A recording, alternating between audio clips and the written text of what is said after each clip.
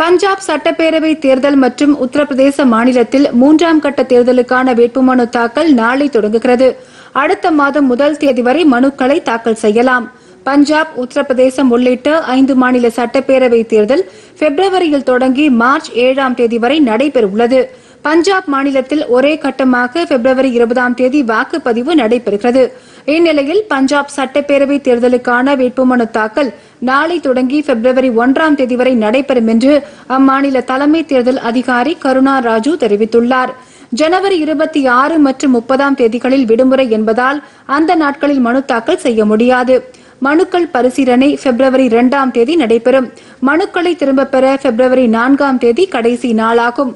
நூற்று பதினேழு தொகுதிகளை கொண்ட பஞ்சாப் சட்டப்பேரவைக்கு ஒரே கட்டமாக அடுத்த மாதம் இருபதாம் தேதி வாக்குப்பதிவு நடைபெறும். இதேபோல் உத்தரப்பிரதேச மாநிலத்தில் ஏற்கனவே இரண்டு கட்ட தேர்தலுக்கான வேட்புமனு தாக்கல் தொடங்கியுள்ளன.